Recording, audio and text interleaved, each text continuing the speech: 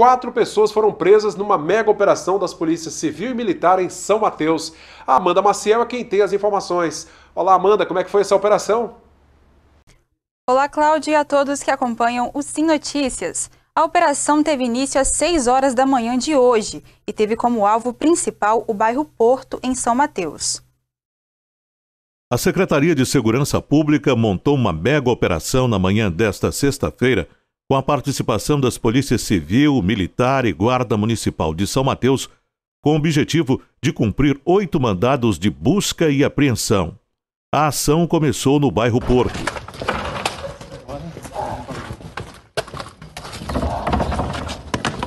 De acordo com o secretário de Segurança, a determinação partiu do Ministério Público para que fosse feita a operação no bairro.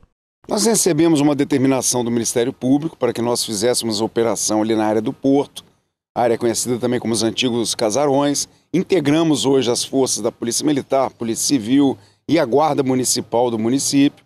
E ali estivemos, revistamos todos aqueles ambientes. Ali não encontramos nada, mas havia uma denúncia do tráfico de entorpecentes, de prostituição.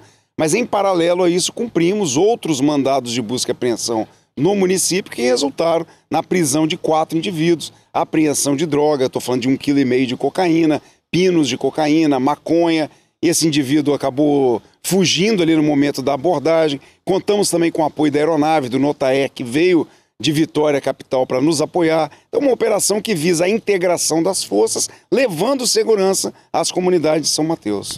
Durante a operação no bairro São Pedro, um homem fugiu pela mata deixando para trás um quilo e meio de pasta base de cocaína, vários pinos, balança de precisão, entre outros objetos usados pelo tráfico.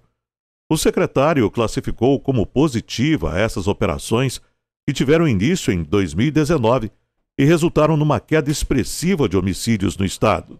Esse trabalho, não só de 2023, mas de 2019 para cá, resulta nos melhores resultados, principalmente nos índices que impactam nacionalmente, que são os índices de homicídios. Então, o Espírito Santo apresenta os melhores resultados 2019, 20, 21 e 22, numa série histórica desde 1996, com os melhores números em termos de homicídios. É dessa forma que a gente trabalha, de forma integrada, unindo todas as forças, sem protagonismo, levando o nome do governo, obviamente, que é quem coordena todo o nosso trabalho, e integrado com os municípios, com os prefeitos. É dessa forma que se faz segurança pública na linha de frente atrás de criminosos, mas também com políticas públicas de qualidade que tirem as pessoas do mundo do crime. Pela primeira vez, a Guarda Municipal de São Mateus participou da operação. O secretário de Defesa Social, Coronel Wagner, destacou a importância da integração.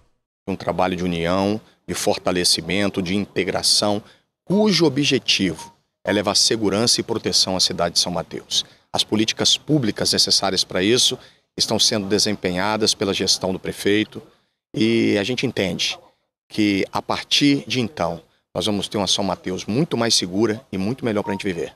Agora, o que chama a atenção é a participação da Guarda Municipal. Ela está preparada para atuar juntamente com a Polícia Militar, com a Polícia Civil? Nesse momento agora, a Guarda está fazendo o trabalho na área morna dessas operações, mas ainda nesse primeiro semestre. A Guarda vai iniciar todo um treinamento e acreditamos que até o final desse ano nós tenhamos a Guarda armada na cidade de São Mateus um marco histórico para São Mateus, onde nós vamos levar com certeza mais segurança e proteção à sociedade. Enquanto isso, nós estamos trabalhando o patrulhamento na cidade com oito viaturas no período do dia e seis viaturas durante toda a madrugada. Sempre também dando apoio ao lado norte e ao lado sul do balneário de Guriri, porque é um balneário que é maior que 28 municípios do estado do Espírito Santo.